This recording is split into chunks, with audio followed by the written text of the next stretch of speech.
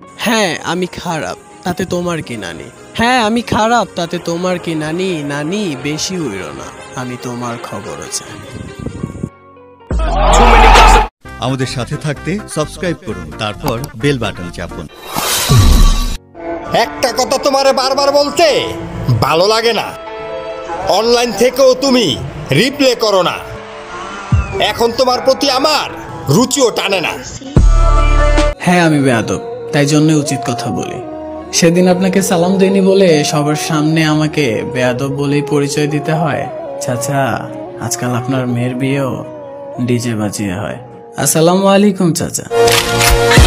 এই পৃথিবীতে থাকা সকল বাবাদের প্রতি আমার সালাম রইল। আসসালামু আলাইকুম। তারপর এই দুনিয়ার কাছে আমার একটা অভিযোগ রইল।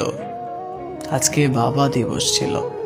ছেলে মেয়েগুলো ফেসবুকে পোস্ট করেছে, বাবা, তোমাকে অনেক ভালোবাসি। মাফ করবেন, আমি পোস্ট করিনি।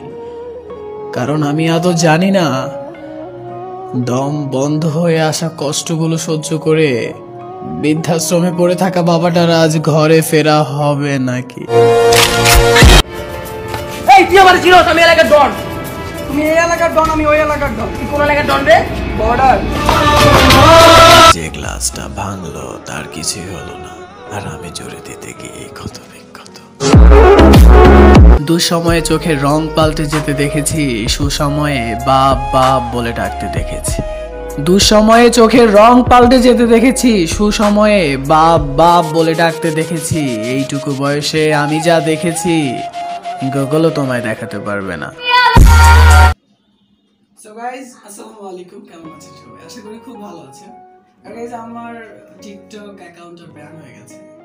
তাও ভেরিফাইড অ্যাকাউন্ট জানি না এতে করে আপনারা কতটা কষ্ট পেয়েছেন বাট আমি কষ্ট পাইনি। বিকজ আপনারা আমাকে সবসময় ভালোবেসেছেন আর এখনও ভালোবাসেন। আর এই জন্য আমি কষ্ট পাইনি। বিকজ এই আইডিটাকে আমি ইউজ করতাম। আইডিটা আমাকে ইউজ করতাম সো গাইজ আমি যেটা বলতে চাচ্ছি আসলে অনেক ফেক অ্যাকাউন্টও খোলা হচ্ছে আমার অবর্তমানে। বাট আমার কোনো অ্যাকাউন্ট নাই। এই যে এখন যে অ্যাকাউন্ট থেকে ভিডিওটা করছি, এটা রাইট নাও আমি খুলেছি। আর এটাতে ভিডিও আই মিন আমার শায়রি না করলে ভালো লাগে না। আমার আইডি থাকুক বা না থাকুক doesn't matter okay so guys আমি বলতে চাচ্ছি, এই যে আইডিটা ভয়েস কিং মিহির এই আইডিটাই আমার। আর এখানে আপনারা আমাকে পাবেন অলওয়েজ পাবেন। আর আপনাদের ভালোবাসা আমি এখান থেকে মেরি জান আই এম ব্যাক দাদা আপনার আইডি নাকি ব্যান হয়ে গেছে? কিছুই তো বুঝলাম না। এই দাদা কেন টেনশন করছ? আমার টিকটক অ্যাকাউন্ট ব্যান হয়েছে আমি না।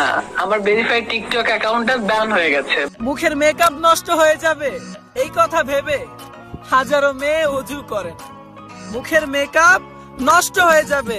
এই কথা ভেবে হাজারো মেয়ে অজু করে না আর পাঁচ ওয়াক্ত অজু করতে হবে।